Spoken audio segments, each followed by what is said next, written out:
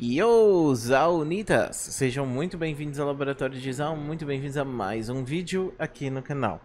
E hoje é dia da gente falar sobre os memes de League of Legends e o dia da gente falar de um dos memes mais divertidos, né? Pelo menos do Facebook, que é sobre a Lux. A gente vai falar sobre a Lux ser ou não uma campeã suporte.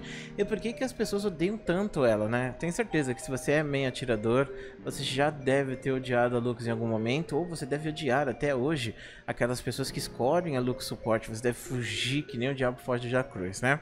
Então eu peço que você deixe seu gostei aí no começo do vídeo para ajudar a gente a continuar crescendo. E que você não esqueça de se inscrever no laboratório para não perder nenhum dos vídeos que a gente lança aqui todo santo dia. Ai ai, meus amigos, falar pra vocês, viu? Look suporte é uma das piores coisas que um atirador pode passar na fase de rotas.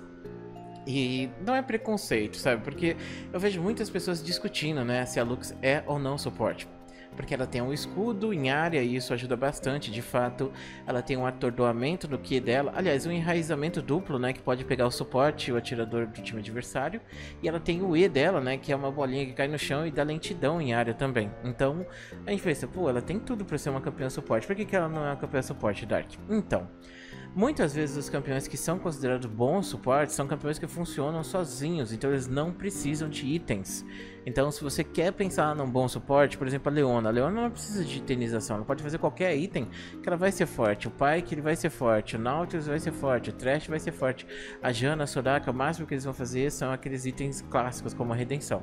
Então a gente tem aqui uma questão muito interessante. A Lux, ela é uma campeã que ela foi feita para escalonar para o final da partida. Então, a Lux é uma campeã que se ela não tiver itens pesados, ela não vai causar dano nenhum. Então a gente tem um problema muito grande, porque na rota inferior o suporte geralmente pega bem menos ouro do que, por exemplo, se você estivesse farmando muito bem na rota meio. Isso foi bem melhorado e o suporte a gente ganha muito mais ouro. De fato, isso melhorou também o jogo da Lux Suporte. Mas no geral, a Lux ela não é vista como uma boa suporte por conta disso. Porque se você for colocar a Lux, por exemplo, contra uma Morgana, a Morgana ela vai ter todas as vantagens. Porque, um, a Morgana ela tem mais controle de rota do que a Lux. 2. O atordoamento da Morgana é muito melhor do que o atordoamento da Lux. E 3. A Morgana ela funciona sem itens e ela vai causar muito dano base comparado ao dano da Lux, que só vai ser alto se ela estiver indo muito bem na fase de rotas ou se ela tiver uns itens AP muito pesados, entendeu? Então é muito importante que a gente entenda isso, sabe? É isso que faz um campeão ser bom suporte ou não. A Zyra, por exemplo, ela é uma ótima suporte porque o atordoamento dela é um dos maiores do jogo e ela não depende de itemização para causar dano. O Nautilus é um bom campeão suporte porque ele não precisa de itens para tancar tanto. A Leona a mesma coisa, como eu falei para vocês. O pai que ele precisa agora de itens de letalidade, mas ele tá muito forte no geral, né? A Jana, a Soraka, esses campeões eles dependem de itens específicos, mas eles trazem tanta utilidade para a equipe que é interessante você ter um campeão de utilidade só por causa disso. E é justamente esse outro ponto negativo da Lux, que é o fato dela não ter muita utilidade para a equipe. Ela é uma campeã egoísta. Existem alguns campeões do League of Legends que são considerados extremamente egoístas. Muitos desses são atiradores, inclusive. São campeões que fazem tudo sozinho, basicamente. Porém, eles não se protegem sozinhos. Então, por exemplo, você pega um Kog'Maw. O Kog'Maw é muito bom para causar dano, ele é muito bom para destruir o time adversário, assim como o Twitch. Mas eles não se protegem. Se você tiver um assassino que pula em cima deles, acabou. E a Lux passa pelo mesmo problema. Então, pense o seguinte: você está jogando de atirador, né? Você tem na sua cabeça que o suporte geralmente tem que te proteger.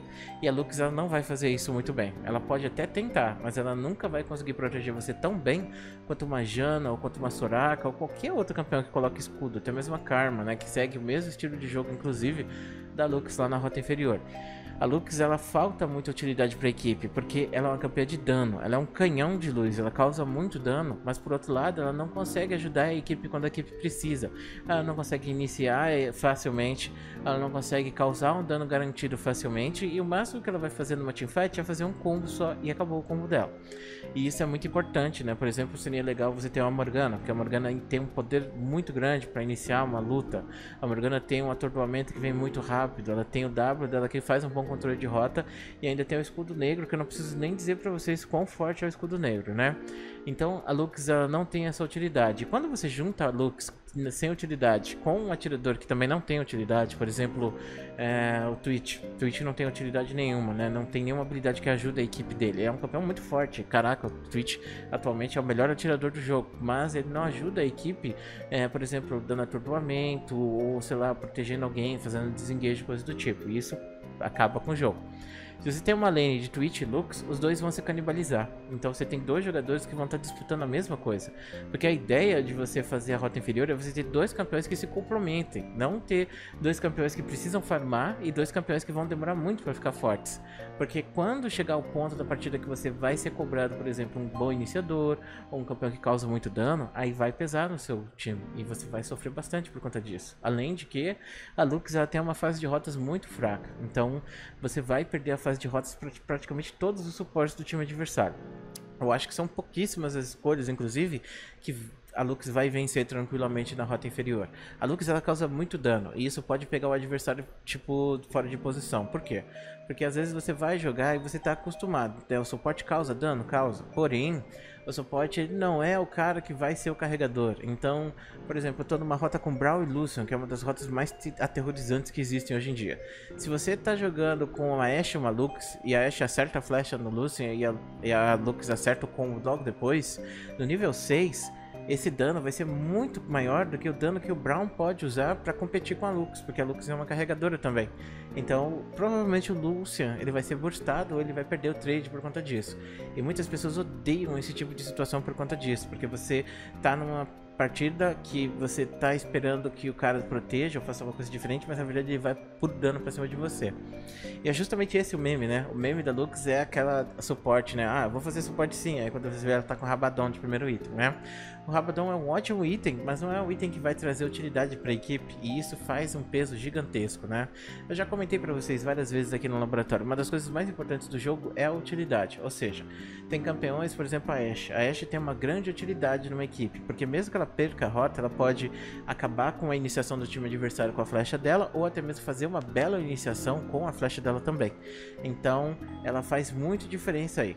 E se você colocar uma Lux com uma Ashe na rota inferior, pode até dar certo, porque que a Ashe ela vai fazer um bom setup. Ela inicia a luta e garante que a Lux vai conseguir acertar o combo dela. Só que aí a gente inverte um pouco os valores, né? Porque o atirador geralmente é o cara que é protegido, é o cara que espera todo mundo iniciar para jogar. E no caso desse, a Ashe estaria sendo o suporte e a Lux estaria sendo o carregador. E é justamente por isso que os atiradores geralmente odeiam a Lux. Porque você ter uma Lux é basicamente perder a rota, porque a maior parte dos campeões adversários vai vencer ela na fase de rotas, porque ela é muito fraca, e você vai ter um jogador que vai estar tá disputando com você a função de carregador. Então você não vai ter proteção nenhuma, você não vai conseguir fazer as teamfights bem e vai ter sempre alguém ali para disputar os abates com você, vai ter sempre para disputar os farms muitas vezes com você, vai ter sempre alguém ali para causar dano, mas não para fazer o que a equipe precisa, que muitas vezes é fazer as iniciações. Se você pega uma Ashe, você vai ser o suporte, você vai estar tá na função desse suporte, né? A gente tem que delinear bem as funções, né? Porque é muito importante isso para o jogo. E a Lux ela pode sim funcionar como suporte em certos casos. Eu imagino que você já tenha ganho algumas partidas com isso, pegando o adversário fora de posição. Mas no geral, em partidas 50-50, ela pode ser literalmente a campeã que vai afundar aquela equipe. E é justamente por isso que os atiradores têm uma experiência tão negativa com a Lux. Mas tem outra coisa também que a gente tem que lembrar, que é o fato de quem joga de Lux geralmente cai no preenchimento automático, né? E não quer jogar com um campeão de utilidade, porque acha que utilidade não presta no jogo, que suporte não ganha partida e acha que pegar um carregador seja uma boa opção. Muitas pessoas escolhem campeões carregadores bem interessantes, como a LeBlanc, né? Que é muito interessante. Porém, pegam a Lux porque acham que é a melhor opção, né? De suporte da rota inferior e carregador ao mesmo tempo. E aí o que que acontece? Esse cara não tem proficiência para jogar na rota inferior, ele não sabe buildar, ele vai perder a rota porque ele pegou uma campeã fraca e muitas vezes ele dá rage porque ele tá no preenchimento automático ele não sabe jogar com aquilo, ou até mesmo, né, ele acaba perdendo porque ele buildou um item que não fazia diferença ali ou não era importante fazer.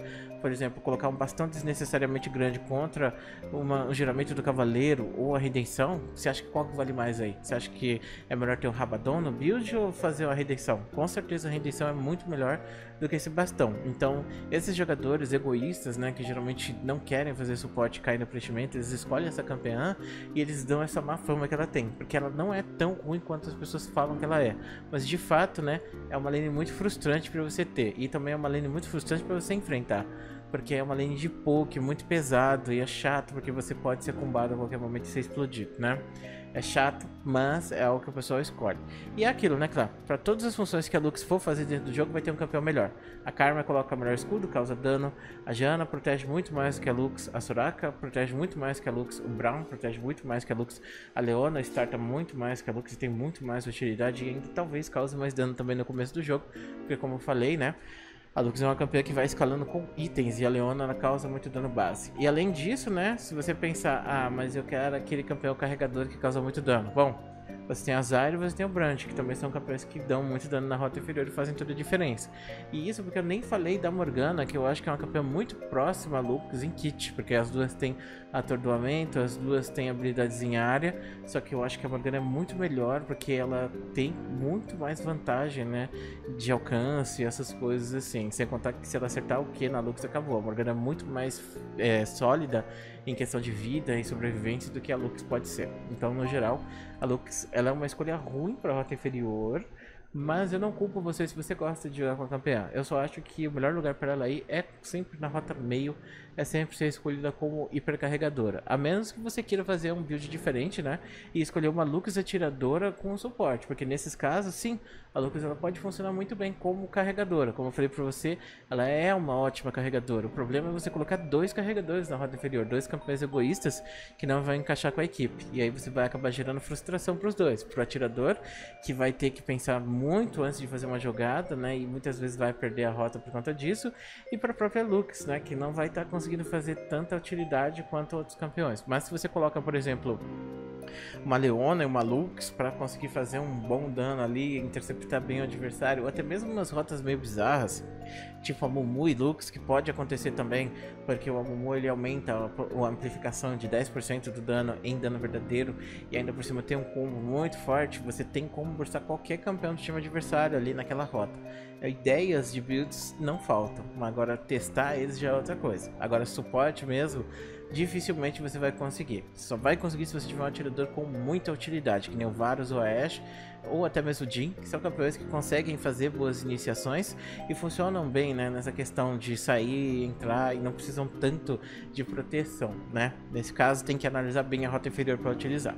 Bom, eu espero que você tenha entendido um pouco mais sobre esse meme, que é um dos mais engraçados que eu vejo no Facebook, mas ao mesmo tempo é bem frustrante mesmo jogar contra Lux, tá? Bom, muito obrigado por assistir esse vídeo, um grande beijo, um grande abraço e até depois.